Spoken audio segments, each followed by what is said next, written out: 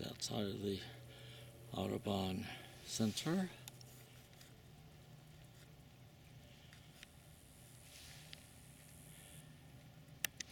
And this is all the